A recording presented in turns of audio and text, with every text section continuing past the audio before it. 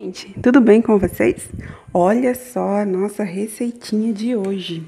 É um tempero verde caseiro, muito fácil, muito simples e os ingredientes vocês vão ter quase todos na sua casa.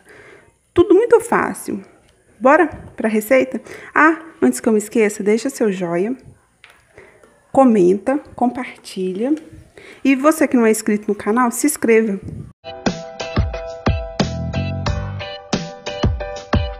Os ingredientes para o tempero verde. Eu descasquei três cabeças grandes de alho.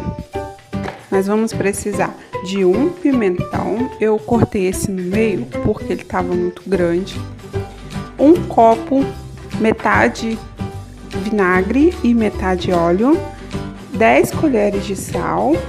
Uma cebola.